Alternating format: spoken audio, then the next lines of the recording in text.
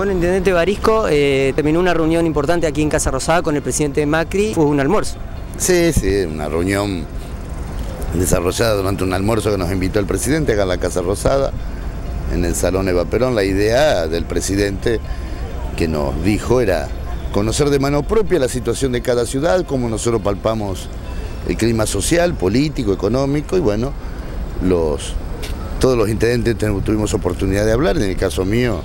la petición fue fundamentalmente a que no se pare la obra pública, porque más allá de la crisis que estamos viviendo nos parece importante no solamente en el tema constructivo, la mano de obra que genera, sino la confianza que genera la gente en que haya más obra pública de un gobierno que se ha destacado por la obra pública. Y le describí lo que estamos haciendo en Paraná y por supuesto poner el acento en la ayuda social.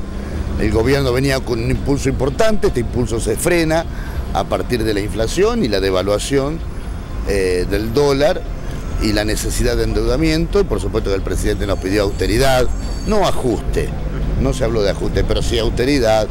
sí que tengamos dispositivos para bajar el consumo de energía eléctrica en lo que es materia de alumbrado, cosa que en Paraná lo estamos haciendo, estamos colocando 5.000 LED en la ciudad y a su vez tenemos un financiamiento para unos 30.000 LED más, aparte de los 5.000 que estamos colocando, así que fue una reunión muy linda. ¿Se confirma que la obra pública en sí continúa con el apoyo del gobierno nacional? Sí, sí, en el caso de Paraná, que yo tuve la,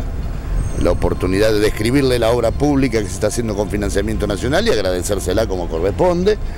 porque más allá de que uno la gestiona, quienes ponen la firma son los ministros y el presidente, esta obra va a continuar.